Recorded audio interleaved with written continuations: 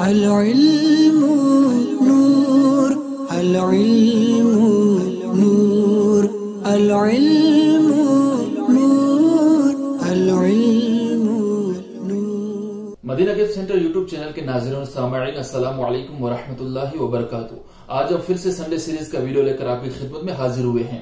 آپ کے جو بھی کیے گئے سوالات ہیں، ان کے جوابات دینے کے لیے ہمارے ساتھ مفتی محمد ذوالفقار ہمارے ساتھ موجود ہیں۔ اس کے علاوہ میں آپ کو یہ بات کلیئرلی بتا دوں کہ سارے سوال کے جوابات جو ہے وہ مسئلہ کے انفی کے مطابق رہیں گے انشاءاللہ تبارک و تعالی۔ تو چلیے، بنا کسی دیری کے آج کا پہلا سوال لے لیتے ہیں۔ چچا کی مطلقہ یا بیوہ یوں ہی ماموں کی مطلقہ یا بیوہ یوں ہی سوتیلی ماں جو ہے، اس کی بہن سے نکاح جائز ہے یا نہیں ہے؟ مفتی صاحب سے میں گزارش کروں گا کہ اس مسئلہ میں رہنمائی فرمائیں وعلیکم السلام ورحمۃ اللہ وبرکاتہ۔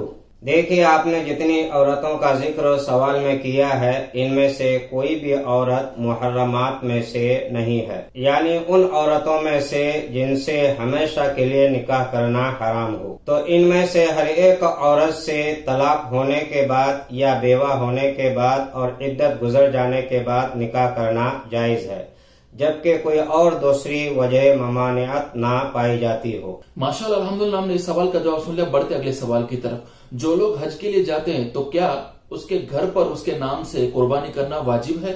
تو مفتی صاحب سے میں گزارش کروں گا کہ اس مسئلہ کو اچھی طرح سے ہمیں سمجھائیں۔ دیکھیے، جو لوگ حج کے لیے جاتے ہیں، عازمین حرمین طیبین ہیں، ایسے لوگوں کے لیے دو طرح کی قربانیاں ہیں۔ ایک قربانی حج کی ہے اور ایک قربانی عید الاضحیٰ کی ہے۔ تو جو لوگ حج کران یا حج تمتو کی نیت کرتے ہیں، ایسے حاجیوں پر یعنی متمتع اور قارن پر، حج کے شکرانے کی قربانی واجب ہے۔ اب بات رہی یہ کہ ایسے حاجیوں پر ان کے گھر پر قربانی واجب ہے یا نہیں؟ تو اس سلسلے میں ہمارے فوقائے کرام نے بیان کیا ہے کہ یہ حاجی صاحبان قربانی کے دنوں میں اگر مسافر ہیں تو ان پر قربانی واجب نہیں ہے یعنی عید الاضحیٰ کی قربانی واجب نہیں ہے۔ اگر مسافر نہ ہوں بلکہ مقیم ہوں اور صاحب نصاب بھی ہوں تو ان پر عید الاضحیٰ کی قربانی واجب ہے۔ چاہے تو وہاں کرے، چاہے تو ان کے گھر پر ان کے نام سے کرنے کا اہتمام کرے۔ ماشاء اللہ الحمد للہ ہم نے اس سوال کا بھی جواب سن لیا۔ بڑھتے اگلے سوال کی طرف۔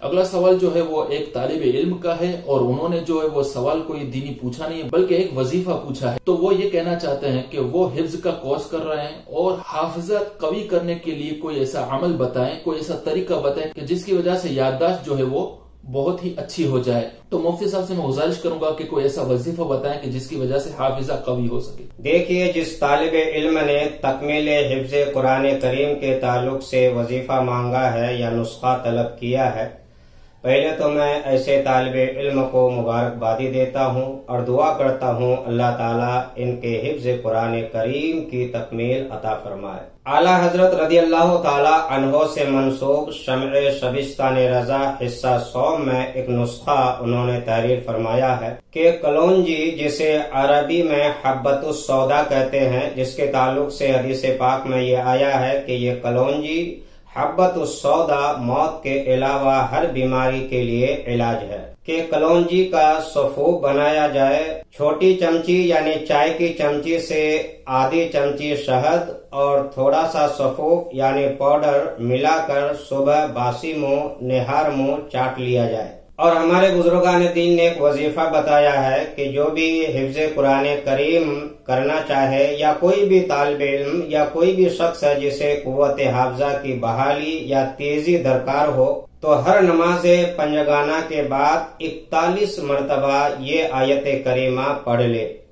سنکری کا فلا تنسا اللہ ماشا اللہ اول آخر درست شریف پڑھے۔ یہ تو نسخہ اور وظیفہ ہوا۔ اس تعلق سے میں بزرگان دین کی تعلیمات کا نچوڑ بیان کرتا ہوں۔ ہمارے بزرگان دین نے یہ فرمایا ہے کہ قوت حافظہ کی تیزی یا قوت حافظہ کی بحالی کے لیے سب سے بہتر نسخہ جو ضروری ہے ہر انسان کے لیے وہ یہ ہے کہ اپنے دل و دماغ کو خیالات فاسدہ کے ہجوم سے دور رکھا جائے اور صرف اور صرف حصول علم یا اپنے کام کے حصول کی طرف توجہ دی جائے اور ایک سوئی حاصل کی جائے۔ ماشاء اللہ الحمد ہم نے اس سوال کا بھی جواب سن لیا۔ بڑھتے اگلے سوال کی طرف۔ نائٹ پینٹ پہن کر نماز پڑھنا کیسا ہے؟ تو مفتی صاحب سے میں گزارش کروں گا کہ اس مسئلہ میں رہنمائی فرمائیں۔ دیکھیے نائٹ پینٹ پہن کر نماز پڑھنا کیسا ہے؟ اس تعلق سے میں آپ کو فقوائے کرام کا نچوڑ اور خلاصہ بتاتا ہوں۔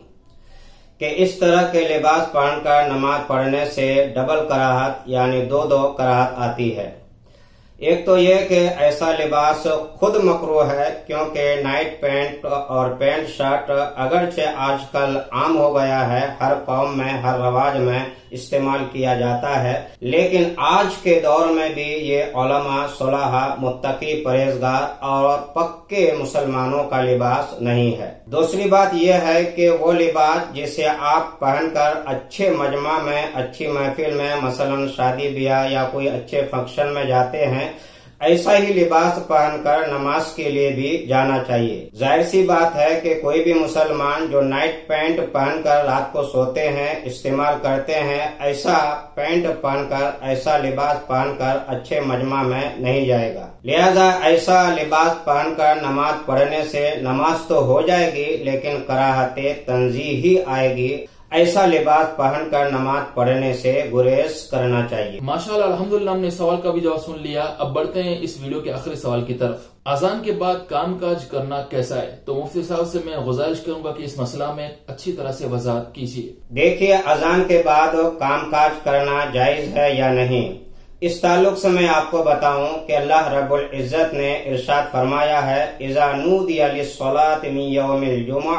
فسعوا الى ذکر اللہ وزر البیع. کہ جب جمعہ کی نماز کے لیے اذان ہو جائے تو تم اللہ کے ذکر کی طرف دوڑو۔ اور خرید و فروخت چھوڑ دو۔ اس آیت کریمہ کی بہت ساری تفسیریں ہیں۔ ہمارے مفسرین نے یہ بیان کیا ہے۔ صحیح قول یہ ہے کہ جمعہ کی پہلی اذان سنتے ہی خرید و فروخت چھوڑ دینا چاہیے، خرید و فروخت کرنا منع ہے۔ تو اس تفسیر سے پتا چلتا ہے کہ اذان ہوتے ہی نماز کی تیاری میں لگ جانا چاہیے، کاروبار چھوڑ دینا چاہیے۔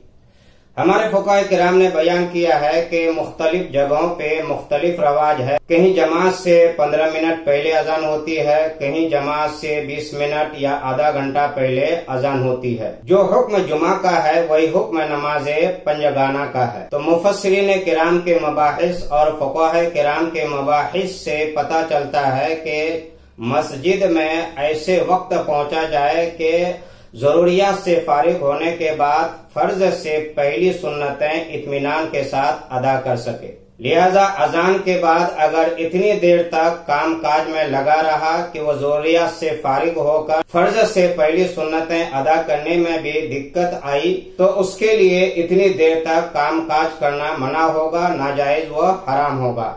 میں تمام بھائیوں سے گزارش کرتا ہوں کہ دنیاوی کاروبار تو کرتے رہیں گے، جب نماز کا وقت ہو جائے، اذان ہو جائے، تو اول وقت پہ آپ مسجد پہنچیں اور زیادہ سے زیادہ ثواب کمائیں۔ ماشاء اللہ الحمد ہم نے سارے سوال کے جواب سن لیے اور امید اچھی طرح سے سمجھ بھی لیے ہوں گے۔ آپ بھی اگر کوئی سوال کرنا چاہتے ہیں تو نیچے کمنٹ باکس میں لکھ دیجیے ان شاء اللہ تبارک و تعالیٰ آنے والی ویڈیو میں آپ کے سوال کے جواب دینے کی پوری کوشش کریں گے۔ اور ثواب جاریہ کے لیے اس ویڈیو کو زیادہ سے زیادہ شیئر کیجیے اللہ تبارک و تعالی ہم سب کو عمل کی توفیق عطا فرمائے۔ السلام علیکم ورحمۃ اللہ وبرکاتہ۔ العلم نور العلم نور، العلم